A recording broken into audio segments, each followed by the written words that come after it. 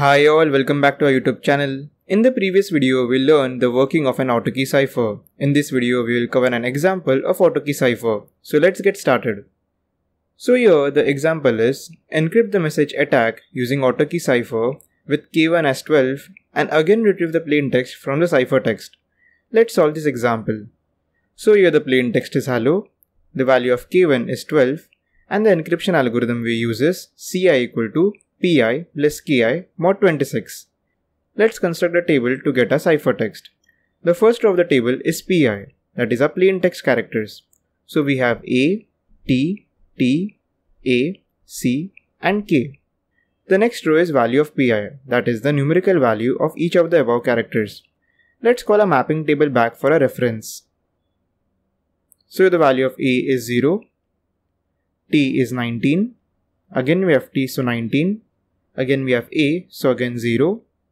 The value of C is 2 and value of K is 10. The next row is Ki, that is a key stream.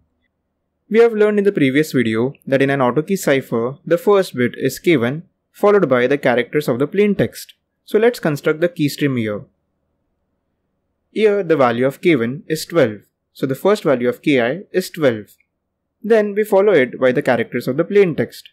So we have 0, so we input 0 here. Then we have 19, so we input 19. Again we have 19, so we input 19 here. Followed by 0 and followed by 2. In this way we constructed the key stream. The next step is the encryption step that is pi plus ki mod 26.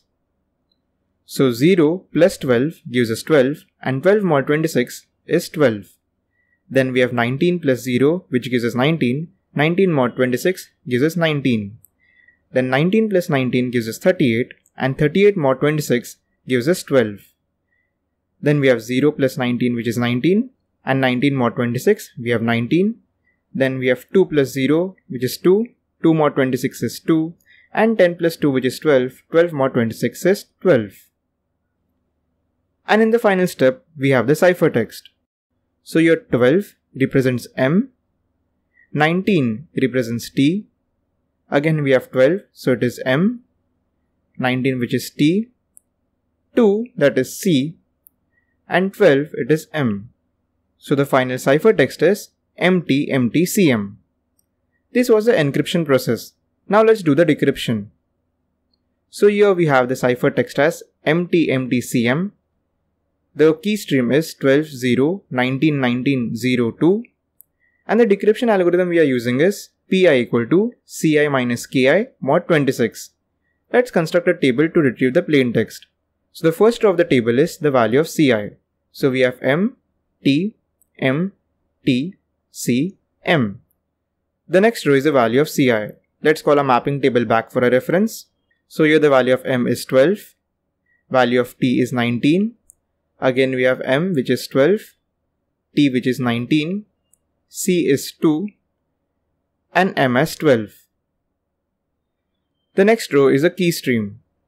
So we have 12, 0, 19, 19, 0 and 2. Remember from the previous video, Alice and Bob both have the key stream which is shared via a secure key exchange channel. So Bob also has the key stream for decryption. Coming back to the topic, the next row is the decryption step, that is Ci minus Ki mod 26. So we have 12 minus 12, which gives us 0. So 0 mod 26 is 0. 19 minus 0 is 19, which gives us 19. 12 minus 19 gives us minus 7, and minus 7 mod 26 gives us 19. 19 minus 19 gives us 0. 2 minus 0 gives us 2, and then 2 mod 26 gives us 2. 12 minus 2 is 10 and 10 mod 26 is 10. And finally we retrieve our plain text that is pi. So using the reference table 0 is a, 19 is t, again we have 19 so t, again 0 refers to a, 2 refers to c and 10 refers to k. So we have successfully retrieved our plain text that is attack.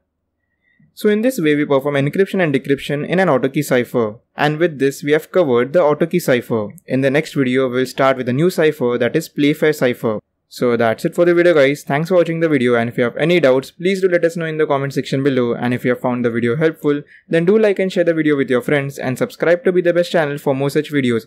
Meet you in the next video of the CSS series. Bye bye.